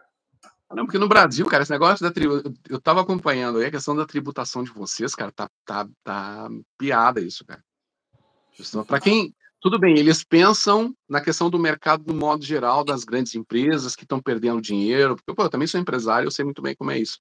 Tu, tu, limita um pouco a questão, tu não tem concorrência. O cara que trabalha no Brasil importando e vai vender o produto dele, competindo com o cara que importa direto do Shein da vida, o cara se quebra. E aí tá, uhum. até esse ponto eu entendo. Mas a merda é que, pô, libera ali os 50 dólares ali, né, pra tu conseguir fazer Que já era difícil. 50 dólares já era difícil pra gente. Sim. Quantas Mas, vezes assim, eu dividi, eu dividi compras, dividi assim, fui comprando, poxa, eu não posso comprar mais de, de 50 dólares, tem que comprar abaixo. Quantas vezes eu fiz isso para não ser taxado? Não, é. Eu também fazia a mesma coisa. Tentava comprar. Eu usava muito aquele esquema de ah, compra, faz uma. Tinha uns, uns camaradas que moravam fora, principalmente em Londres, ele tinha lá o endereço dele, aí eu comprava, mandava entregar na casa dele, ele comprava e mandava como pessoa física, para tentar, sabe, reduzir um pouco a, carga tributária de produto. E às é... vezes mesmo assim era taxado, né? Porque aconteceu comigo dos Sim. Estados Unidos. Mas, Estados é, Unidos mas eu... nem tanto, mas é. é. Estados Unidos, cara, eu comprei quatro Eclipse quebrado. Eu comprei quatro Eclipse quebrado. Quebrado. Tinha Eclipse que veio até com tinta, cara, tinta por fora. Parecia Sim. que tinha saído de debaixo da terra. Eu comprei para restaurar. Cara, os Correios do Brasil fez questão de me taxar em cada um, cara, mesmo sendo mandado por pessoa física. É, não. Eu tive que pagar é, uma taxa. Brasil é... O Brasil morde, morde. É. é, cara, esse é um, esse é um grande problema que, na verdade, não tem solução, né, cara? É, às vezes vale a pena juntar um dinheirinho, fazer uma viagem fora. Agora que aumentou o limite da liberação da, de que tu pode trazer de compra de fora, que antigamente era 500 dólares, agora pode trazer mil dólares. Isso já melhorou bastante. Tu pode trazer uhum. um, né, um, umas coisinhas mais legais. Mas, de modo geral, cara, é complicado. Tá Agora, complicado. só falando um pouquinho, para não, não estender muito, senão daqui a pouco a nossa live vai virar Eternal Live. uh, Fica à vontade. Aí, a, aerografia, a aerografia aqui no Canadá, como é que é? O que eu vejo assim, Canadá e um pouco Estados Unidos, aqui quase fronteira, tá? Aqui tem somente, cara, eu conheço aqui em Vancouver somente dois estúdios de aerografia. Não tem que nem no Brasil, que tem várias pessoas fazendo aerografia. Quem ganha dinheiro com aerografia aqui no Canadá é quem trabalha com maquiagem quem trabalha com pintura corporal em festas, em fazendo, sabe, borboletinha e tal, usa o aerógrafo. Teve um evento que eu fui aqui, era numa praça, uma apresentação numa praça, e tinha um cara e uma guria. Eles tinham uma van e tinha a van, ela se estendia, virava tipo uma mini lojinha. O cara tinha ali uma bancada com os oito aerógrafos, tudo chinês tinha uma cartela cheia de adesivinhos para tatuagem, para fazer pintura. Aquela assim, ó, que tu pega o adesivinho, coloca, passa uma tintinha vermelha, bota dois pinguinhos de coisinha para simular o dragãozinho, 15 dólares cada um. Uhum. Uhum. Eu fiz as contas por baixo, pela fila que tinha e pelo valor que ele cobrava por aerografia, por evento. O cara brincando, brincando, ele sai com uma, uma, uma faixa aí de entre 70 e 180 mil dólares num dia. Que isso? Muita grana. Muita grana fazendo pintura, assim, cara, e era uma atrás da outra. Era ele pintando numa cadeira, a menina pintando na outra, e a fila de pai ali com criança atrás, gigantesca, e o cara só botava adesivinho, pintava, passava três coisinhas ali, botava uma purpurina. Seguinte, próximo. E ali ia 10 dólares, 15 dólares, 10 dólares, 15 dólares, 10 dólares, 15... Cara, ano, falei, pass é ano passado eu trabalhei para a prefeitura aqui de Belo Horizonte, no edital que eu participei. Eu trabalhei com essa, esse trabalho de pinturinha de rosto e mão de criança. E teve um dia, cara, que a gente ficou de 9 da manhã, a 2 da tarde pintando rosto e mão. Chegamos em casa exaustos. Que a fila, a, a fila é quilométrica, cara. E realmente, isso aí, pessoal, é uma ideia que ele está dando aqui, ó, que ele está trazendo aqui, que a gente pode fazer isso aqui no Brasil também. De repente, se você consegue um espaço num parque aí, ou, ou num lugar aqui no Brasil, você arruma e você ganha muito dinheiro também, cara. Imagina você cobrando, sei lá, é. igual ele deu a ideia, 15 dólares, você cobra 15 reais cada pinturinha, você ganha dinheiro também. Então, às vezes, então, às vezes um cara. Cara, é, você pôr a cabeça para funcionar, ganha dinheiro. E, às vezes, um trabalho, por exemplo, no Brasil, por exemplo, tu pega aí para fazer uma aerografia. Volta e meia, eu, eu dou uma entrada ali no, no, no Facebook da galera da, da, da, aerografia aí, que eu curto bastante o trabalho deles. E aí tem um cara falando, ah, cara, eu tenho aqui, um cliente me encomendou esse trabalho aqui, quanto vocês acham que eu cobro? Aí vem os comentários, ah, eu acho que cobra uns 500, aqui na minha cidade é mil, ah, isso aí custa uns 1.500. Eu falei, cara, tu vai perder, tá, tudo bem. Tu vai vender ali o trabalho, 1.500 dólares, 1.500 reais, 500 reais. Tu vai levar, às vezes, uma tarde, um dia ou dois dias para fazer aquilo ali, cara. Uhum. Além de material. Tu pega aí, cara, num evento, uma festa de aniversário, fala assim, ah, eu vendo aí é, pintura facial infantil, cara. Mas não é nenhum desmérito. Muito pelo contrário, é trabalho. Eu faço isso também, principalmente quando tem escola da minha filha, aqui tem evento, eles me convidam, eu vou voluntário, faço esse trabalho de forma voluntária nas escolas, né? Que aqui tem muito essa questão de voluntariado. Vou lá, pego, tenho aqui uma pastinha cheia desses adesivinhos, vou lá, passo nas crianças, boto a tintinha preta, uma tintinha branca, faço dois. Cara, os meninos ficam com o olhinho brilhando, cara, e a fila é gigante. Aí sim, eu fico pensando, sim. se eu estivesse cobrando isso aqui, cara, se eu estivesse cobrando 5 dólares, nossa, vai sair daqui com o bolso forrado. E assim, seja... tu pega, Uma tardezinha, trampo, cara, né? vai para uma praça, aí tem que ver só questão de legislação, tem que usar um equipamento legal, tem que usar uma tinta que não seja uma tinta base água, que não seja tóxica para criança, então, tem, tem, todos os dados, a luva, uma máscara para não ficar ali na cara da criança, ali, né, cuspindo, falando ao mesmo tempo, usando todos os cuidados, todos os procedimentos legais, tem, um, né, tem uma coisinha certinha, cara, ah. Sim, sim, sim. E, e não é muito difícil não, cara, porque igual, por exemplo, tem uma uma, uma marca de tinta que está trabalhando aqui no Brasil, chama Color Make. Sim. Color a Color Make, Make eu, eu, a Color Make teve uma época, cara, que eu estava fazendo pintura corporal no Brasil. Uh, eu tinha feito uma parceria com eles, a Color Make e a Pinta Cara, são as duas no Brasil.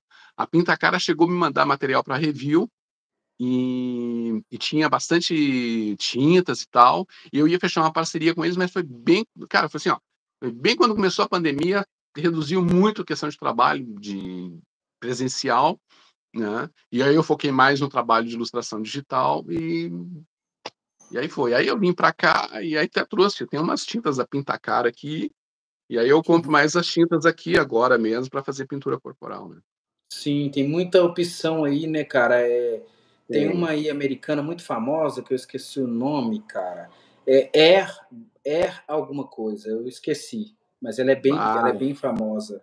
É, eu, eu uso, uh, eu uso as tem as cores, tem cores da Mac Color, tem, cara, uma marca de tinta para pintura corporal, tem Endura, tem da Endura também, que são tintas muito boas para pintura corporal. São tintas caras, mas assim, rende muito, cara. Rende muito mais do que a pintura no papel, né?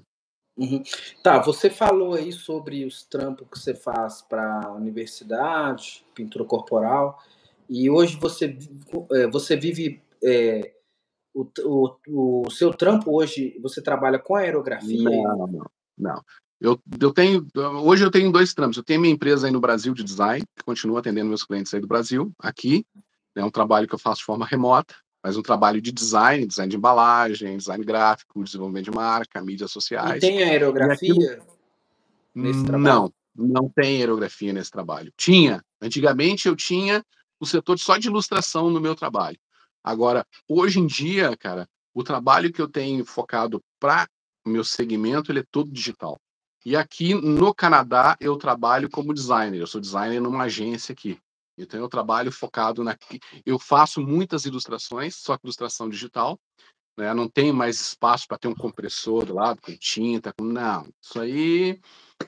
Isso aí é. Isso aí virou passado, cara, infelizmente. Virou um passado estúdios que tem, assim, aquela coisa de ilustração com bancada e tal, várias pessoas com, com aerógrafo. Não, cara. Hoje em dia, o meu trabalho é o quê? Computador gigante, uma tela enorme, uma mesa digitalizadora para fazer ilustração ali. Eu consigo ter os recursos de aerografia. Tu perde um, totalmente a questão da manualidade. Tu não tem mais a manualidade. Tu tem os seus traços ali, mas é tudo de forma digital. Mas eu não largo. Essa bancada atrás aqui, eu não largo, não substituo, é amor, não tem como levar. É o, é o amor que o aerografista tem. Tu, cara, tu tem que saber dosar duas coisas. Tem que saber, tu, tu tem que fazer assim, ó, coisas que eu gosto de fazer, coisas que me dão dinheiro. Coisas uhum. que me uhum. dá dinheiro é trabalhar com design gráfico, trabalhar com computador. Isso dá dinheiro. A aerografia dá dinheiro, mas ela é mais prazerosa, ela é mais manual, é um trabalho sabe? Aquilo que tu pega, vai ali na, no pincelzinho fino, no aerógrafo, na passada devagar, fazendo, sabe, sombreamento. É isso, cara. É... E aí, assim, o trabalho que eu tenho na aerografia, hoje ele é mais um trabalho de arte, tipo, alguém me encomendou uma pintura, um desenho, uma... que nem aqueles dos pássaros ali que eu te mandei dentro do tênis. Até depois eu posso mandar no teu canal para tu colocar aí. Uh, uhum. Cara, aquilo ali é um trabalho que eu fiz assim, cara, me deu prazer de fazer uma ilustração legal, curti, vou lá, faço, inspiração de um trabalho antigo que eu tinha feito, vou, refaço. Tá aqui na minha bancada aqui a garrafa da Coca-Cola da Páscoa, eu quero refazer esse trabalho também, eu quero guardar um cartaz, um pôster grande. Comprei até moldura já para ele, vou botar aqui do lado. Então, que legal. É, é tipo, e assim, o preço de uma aerografia, cara, se tu for vender, ela não tem o mesmo valor de uma pintura a óleo. Isso aqui eu já percebi. As pessoas veem a aerografia mais assim, ah, mas isso aqui é uma reprodução e não valorizam tanto. Esse é que é um problema. Aí Elas no Canadá, né? Essa Sim, é a visão que você... Não, é. Sim, na América do Norte, aqui no modo geral, Estados Unidos também, cara. A aerografia, ela ganha visibilidade, tu ganha dinheiro, tu quer realmente é essa questão que eu falei da pintura corporal, é a questão da pintura automotiva, fazer os capacetes, personalização de, de itens. Tá? Tu tem uma moto, tu quer fazer o tanque da moto. Tem um cara aqui, que, que um conhecido meu, que ele falou que o chefe dele queria que eu pintasse o, o, a, o tanque da Harley Davidson dele com, com chamas, como se estivesse pegando fogo, né? Não, dá para fazer. Só que, ah, quanto é que vai me cobrar? Aí tu fica pensando, pô, cara, quanto é que eu vou cobrar para fazer isso? E assim, se eu for contabilizar em horas, eu vou cobrar 2 mil, 3 mil dólares para fazer um trabalho desse, mas será que é isso mesmo? Né? Vale a pena? É, é complicado. Uhum. Obras de arte. Tem os aerografistas que vendem. Os... Hoje, o que, que os caras fazem? Eles pintam, os... fazem pinturas inspira-se em alguma coisa, céu, terra, fogo, ar, fazem algumas pinturas e colocam no site com a biografia, falando: olha, eu trabalho com biografia há tanto tempo e essa aqui também é galeria de arte online. Se quiser comprar os quadros, está aqui. E ele vende a, o quadro original e ele vende a reprodução. Entendi. O quadro original ele vende por 2 mil, 3 mil dólares e a reprodução ele vende por 250, 300. Sim, seus prints, né? Exatamente. Boa Me fala aí para gente, a gente finalizar para a gente finalizar, assim, né? Finalmente, uhum. você fez uma visita na Kosher Brush, né? Fiz. Que sonho! Eu conheci a loja só de revista e de filmes, assim, de, às vezes no YouTube, algum canal que mostrava a loja. E aí a gente fez uma viagem para a Califórnia, eu fui com a família aqui no verão. E eu falei, cara, do caminho a gente alugou um carro em Los Angeles. Eu falei, cara, eu quero. A gente estava descendo, eu quero, não, eu quero passar ali, eu quero conhecer essa loja. Aí chegando lá, cara, tirei foto na frente. Cara, sabe o que, que é tu entrar assim? É, a loja é gigantesca, a parede de, de material, assim, é, é corredor de cada tipo de tinta. Cara, aquilo ali é um. É, é, me senti um pinto no lixo, cara. Um pintinho no lixão cheio de minhoca, cara. Agora vai uma pergunta, vai uma observação. Se eles investem tanto em material e tinta para ponto de você ver isso praticamente num galpão, é sinal que, pelo menos para eles vender os materiais, tem um mercado muito grande, né? Tem, tem mercado. Estados Unidos, na pintura, isso que eu falo, da personalização, tem um mercado muito grande. E não é só na questão da personalização. Aqui no Canadá, eles têm muitas universidades. Aqui no Canadá tem muita, mas muita universidade que faz, que tem cursos de efeitos visuais para cinema. E tem, eu até me visitei num evento que teve aqui no ano mês passado, eu visitei uma dessas escolas, que é a Vancouver Film School, que forma uh, mão de obra para trabalhar no cinema. Eles têm lá um departamento de maquiagem cenográfica e maquiagem para cinema, fazer aquelas coisas de monstro e tal. Cara, aquelas bancadas de aerografia. E vende, uhum. e aí, é aí você só veio ata para tudo que é lado aerógrafo, compressor, tinta das, das top que tu vê. E assim, é uma média de 300 a 400 alunos por universidade. Cada 400, 300 alunos desses vão comprar um aerógrafo novo, cara. Uhum. Vai precisar de tinta. E isso é uma universidade. Aqui deve ter umas 7, 8 universidades. Eu tenho a impressão de que. Eu tenho a impressão. O brasileiro, por exemplo, ele gosta de comprar aerógrafo chinês com aerógrafo chinês para o brasileiro aí, é como se estivesse nos Estados Unidos aí. Por exemplo, ele compra um chinês por 100 reais, 150, mais ou menos, nessa média. É, o americano, ele compra um Eclipse por 150 dólares, antigamente, Sim. né? Agora aumentou um pouco mais. Eu tenho a impressão de que o americano não valoriza muito, que para ele é, é uma coisa barata. Ou, ou será que não é, é. isso? É, o cara, o americano, o cara, ele não entende como é que um aerógrafo pode custar tão caro no Brasil. Ele não entende, ele não, não sabe. Ele, cara, é, o custo de vida é muito alto. Na verdade, cara, o aerógrafo não é caro no Brasil.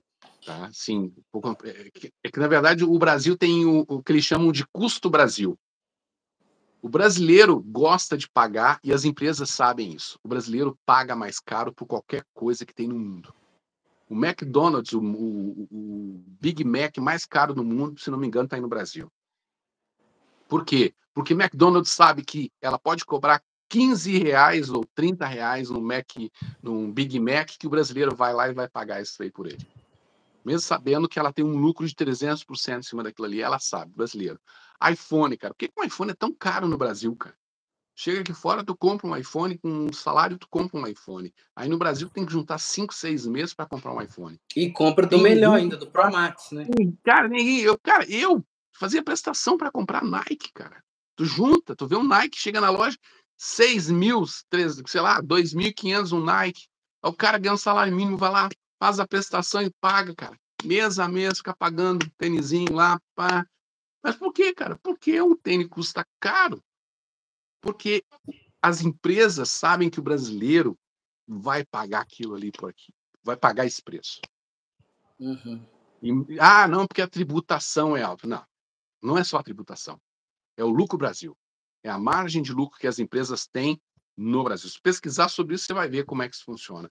É uma uhum. sacanagem, uhum. mas infelizmente é uma realidade. Isso acontece no mundo inteiro. Aceita, Aqui, né? Aceita, aceita, baixa a cabeça, vai lá, financia, parcela, faz consórcio, o que for, vai lá e paga e compra aquilo ali.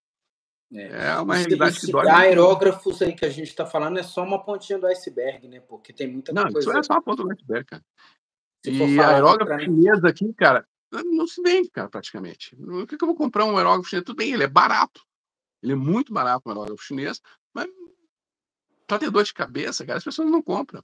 Quem compra um aerógrafo chinês é quem geralmente está começando a mexer com pintura de unha, né, fazendo, tem umas mulheres aqui, se vende muito isso também, a pintura de personalização de unha, daqui tem um monte de essas lojas de, de manicure chinesa, que as mulheres usam muito aerógrafo, é só chinês, só tem aerógrafo chinês. Aí elas usam muito esses aerógrafos chineses para fazer pintura de unha.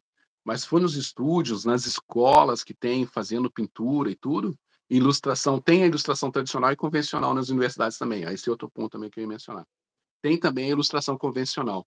Em algumas universidades também se ensina o, o manual, a manualidade ainda. Tá. tá. Então, se então vamos aqui, vamos aqui. Eu, eu, queria pontuar duas coisas aqui com você, que aí a gente termina também, que eu sei que para ir. Quantas horas que é aí agora? Aqui são ah, 4h23. 4h23? Aqui já deve ser meio-dia e 23. Não, já está na hora dele almoçar, pessoal. Então, para a gente liberar ele, eu gostei muito da nossa conversa, né? Eu espero que a gente possa ter outras oportunidades para a gente poder estar tá trazendo isso aqui para o canal, para a gente poder estar tá trocando essa ideia. E eu gostaria de fazer duas perguntas finais. Primeiro, é, você, o que, que você acha? Você acha que a galera deveria é, lutar para poder, sei lá, ir para o Canadá, morar aí? O que, que você acha? E a outra é qual aerógrafo você indicaria para o iniciante e quais são os aerógrafos que você mais indicaria para as pessoas comprarem? Tá, vamos lá. Primeiro, vim para fora do país, cara, é, foi um sonho que eu sempre tive.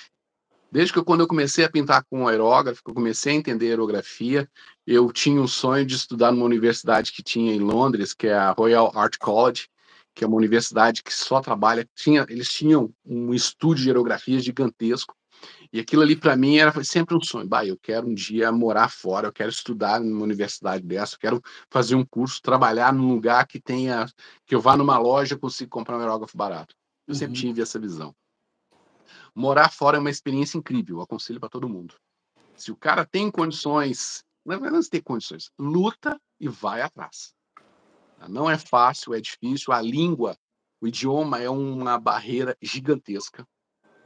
Tá? Não é só assim, ah, eu quero ir para o exterior. Não, primeiro, cara, ah, curso de línguas.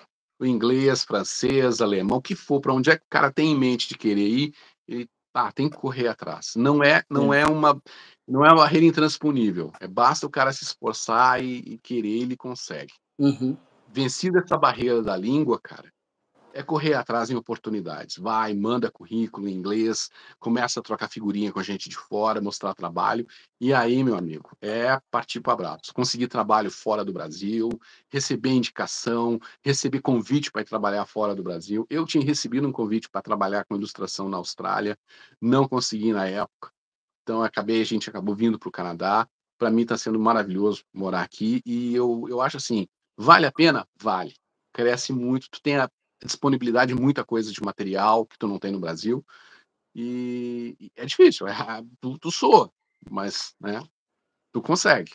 Agora, uhum. sobre a questão de aerógrafo, de entrada, cara, vai, pega. Não, eu digo assim, se tu, tu não tem dinheiro, cara, compra um chinês. Mas juntou o dinheiro com o chinês, vai, cara, compra um Ivata, nem que seja o Nel, da linha Nel. Tá? Uhum. Vai ali nos básicos, tu vai conseguir realizar o mesmo tipo de trabalho. Juntou mais uma graninha, fazendo um trabalho, que seja com pintura de criança, que seja fazer na fachada da loja do teu vizinho, que, que for, partindo daí, compra um aerógrafo melhor, vai aí parte para um HPC, um HPCS, um, né, vai subindo aos poucos, cara. E aí tu vai sentindo. Eu sou muito fã dos aerógrafos da Iwata, sou apaixonado com essa marca também, assim como você. Uhum. Uh, tem, óbvio, tem aerógrafos de todas as marcas, todos os modelos. Em grandes empresas estão começando a entrar agora, estão vendo que tem, tem oportunidade para se investir em aerógrafos de qualidade. Tem Hader Stambeck, tem a Badger também, tem, assim, Paache, tem, tem muitas marcas boas que tu, que tu consegue. Mas eu, particularmente, sou apaixonado por aerógrafos da Iwata, então é, é meio difícil eu, eu ficar tá. falando. Tá, vai, vai mais uma pergunta aí. Para quem você aconselharia um Custom Micron, que é o mais caro? Cara, o Custom Micron eu não te aconselho se tu começando agora na aerografia. Os caras começando, ah, vou, tô, bah, quero fazer, juntei um dinheiro, dá para comprar um Micron, vou lá e compro. Não, eu, eu não aconselharia. Por quê? Ele é uma é a mesma coisa do tirar carteira de motorista hoje e vai lá e compra uma Ferrari. Cara, tu vai bater ela em dois toques tu não vai ter condições de fazer a manutenção desse carro. Tu não vai ter condições, tu vai, tu vai, tu vai assim, ah, pô, tô tirando onda de Ferrari, tirei carteira ontem. Mas meu amigo, primeira troca de óleo deu para ti, cara, tu não vai conseguir. Vai ficar empacado, aquilo ali vai ficar empacado na tua garagem o resto da vida. Então assim, é um aerógrafo que requer cuidado, requer um conhecimento que tu vai ter anteriormente com aerógrafos mais baratos, para tu ter um aerógrafo mais caro. Ele tem, um, um, ele tem detalhes técnicos nele que são precisos, de limpeza eles são mais complexos de fazer, de manutenção eles são mais complexos, de custo de manutenção são mais caros. Ou seja, tá, tô lá trabalhando, nunca mexi com aerógrafo, comprei um, um micro, tô lá pintando, pum, tombou, caiu a agulha, fez assim, o biquinho foi pro saco. O que, é que vai fazer, cara? Se é um NEL, tu vai ali na loja online, vivata.com.br, pum, compra uma agulhinha, compra e tal, troca, beleza, tu não afeta teu orçamento. Agora, se for com o Michael, aí deu pra bola, né, meu amigo? Aí sim, tu, sim. você pensa a tua vida. Só a cabeça, chora porque... só a cabeça do, do, da base, da cabeça do bico dele é o preço de um Eclipse. Agora, vamos aí então, para a gente finalizar aqui, eu ainda gostaria de um dia, se tiver uma oportunidade, se você estiver passando na pela coach, de repente a gente faz uma live assim, a gente troca uma ideia. Ou não ah, precisa ser a coach, não precisa ser a coach. Pode ser uma loja de arte. Não, eu daí, tenho uma grande. loja aqui, tem uma loja aqui que trabalha com material de maquiagem. E eles têm toda a linha dos aerógrafos, tem só aerógrafos e toda a linha de equipamentos e suprimentos para aerógrafos da Iwata. Então, da próxima vez que eu for lá, eu vou fazer um, um videozinho, eu te chamo para a gente fazer uma live ali ao vivo, te mostrando a loja, te mostrando os equipamentos. Uh, tem, tem mais para cima aqui, tem a Mapleware Burst, também, que é uma loja gigantesca, exclusiva só de aerografia. Também tem muito equipamento, ela fica um pouco mais distante, mas quem sabe, né, eu dou uma subida. Uh, tem outras lojas de material de artes aqui que vendem também muitos equipamentos para aerografia. Tem também aquelas prateleirinhas cheias de suprimentos para aerógrafo. E, cara, tem. É. E aqui, de vez em quando tem umas né? promoções, né? Uhum. Eu gosto quando ler... tem as liquidações, né? Quando tem. chega na loja, eu fui agora recentemente numa loja de, de, de, de, de vende suprimentos para unha, e eu cheguei lá, tava olhando, tava, eu fui, na verdade, para comprar cetona líquida.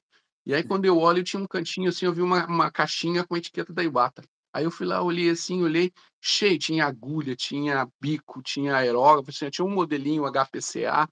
Eu olhei e tal, olhei o preço assim. Eu falei, não, cara, isso aqui tá errado. Aí eu fui lá no caixa, perguntei a menina, vem cá, quanto é que custa esse aerógrafo aqui e tal? Aí eu no sistema, ah, tá 34. Falei, tá, eu acho que eu vou levar esse aerógrafo. cara, cara, eu comprei aerógrafo, comprei gulha e comprei bico, cara. O bico, cara, pro HPA, que é o 0.2, na verdade é 0.18. É o que não tem é. copo, né? Não, ele não tem copo. Ele não tem copo. Cara, você sabia que eu sou doido com esse aerógrafo, cara? Não tive a oportunidade não ainda, não. Mas eu sou doido com esse modelo de aerógrafo aí. É, esse mesmo. Cara, isso aí é uma raridade, hein? Ó. Gente, olha isso. É, é, é ah, verdade, eu falei bem, né, o copo dele é a, parte, é a parte do corpo, né? Sim.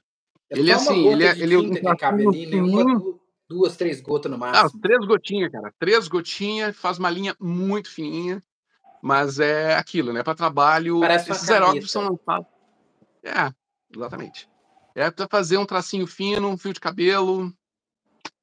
Vou ler o comentário da galera aqui. Vou dar um salve aí para a galera que está aqui. O Francis, Francis Walter, o Kleber Oliveira Santos, seu Madruga, na Europa com Ângela, é, o Elber Siqueira, o Genaldo Caspa, José Cristóvão, Motos, que comentaram, né? Boa. Só, os, os comentaram, Hugo né? Santos, o Cadu tá falando boa tarde, feliz Páscoa. É... Tem, tem, um comentário que eu tô lendo aqui que eu vou, vou responder ele, que é como você, como ilustrador, o que você acha dessas imagens geradas com inteligência artificial? Se ela prejudica quem pensa em um trabalho com ilustração nos dias atuais. Cara, eu digo o seguinte, quando veio o Uber para o Brasil, cara, os motoristas, todo mundo falava, ah, motorista de táxi vai perder trabalho, não vai existir mais motorista de táxi, vai ter só Uber. Cara, continua existindo Uber, continua uhum. existindo motorista de táxi. Cara tem que achar o teu segmento.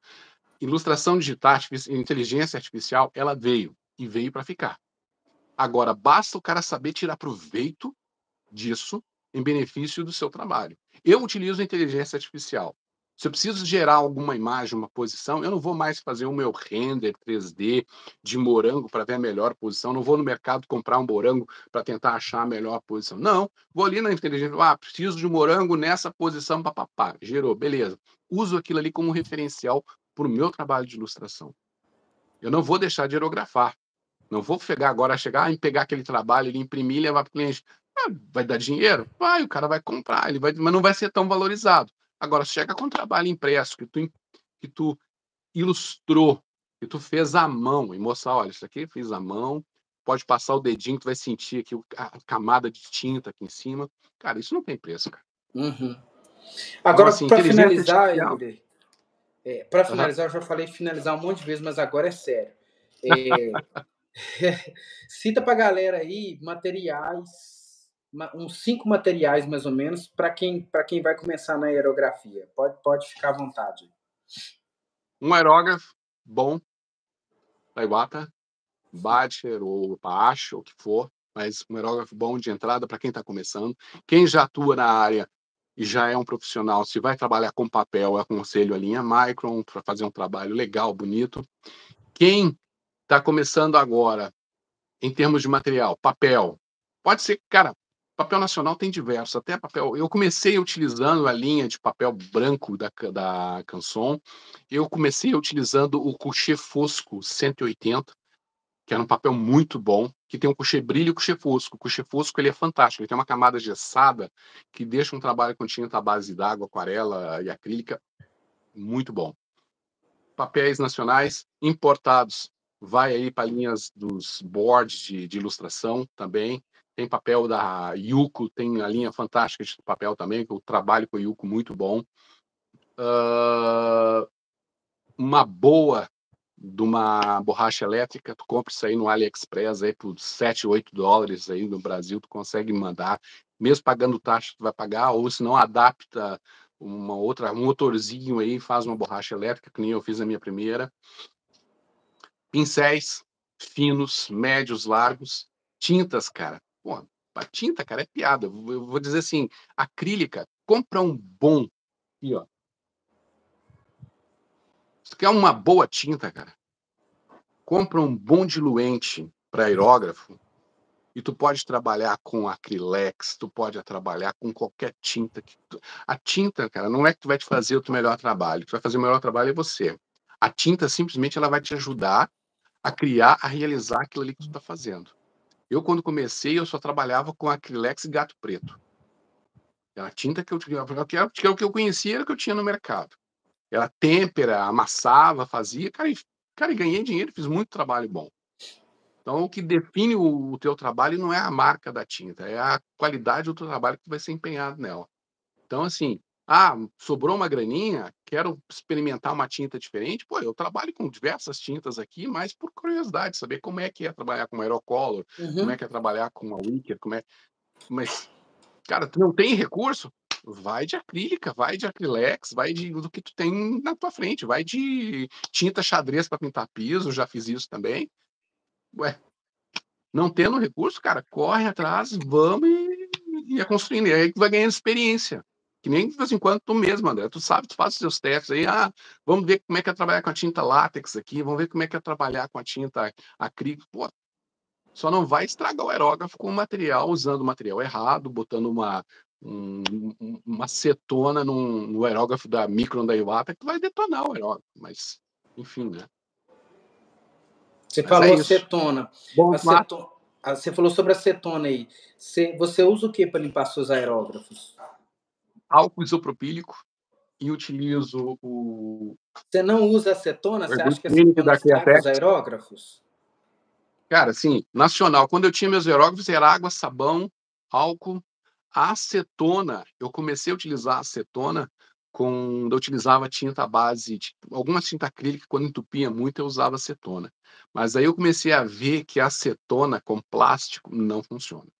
A acetona corrói o plástico e o aerógrafo tem ali aquela partezinha lá, quando tu faz a limpeza dele com a ferramenta certa da aerografia ali para tirar aquela lá depois na, agulha ali dentro, ele tem um, um, teflonzinho ali que é uma pecinha plástica. Aquilo ali, cara, vai pro saco com a acetona.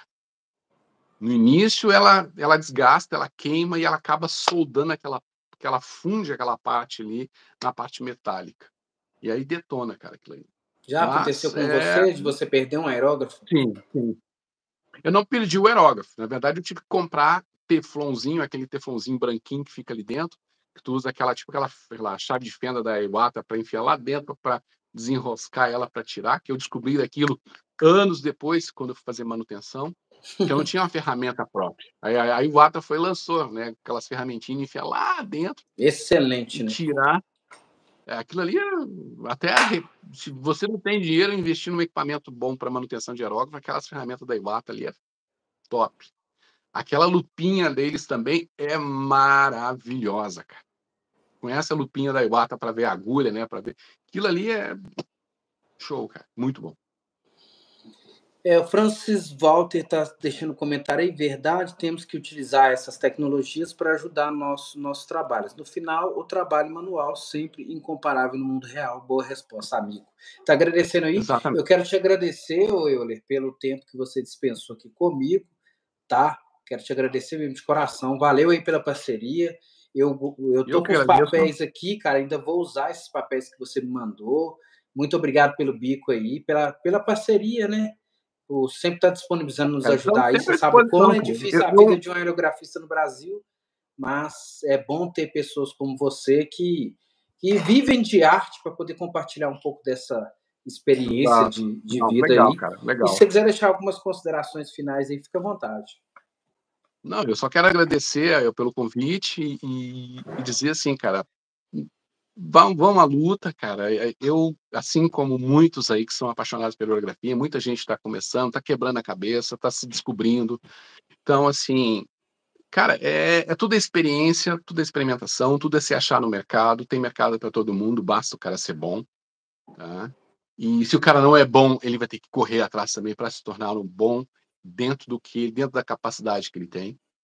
Então, cara, é, é, é desejar sucesso para todo mundo cada um achando o seu nicho de mercado, ganhando seus dinheiros aí, fazendo uh, investimentos aí para melhorar sempre dentro da sua área de atuação. Beleza. Pessoal, então nós vamos ficando por aqui, né? O Euler. Um abraço pro Euler aí nos Estados Unidos, sua família. Muito obrigado.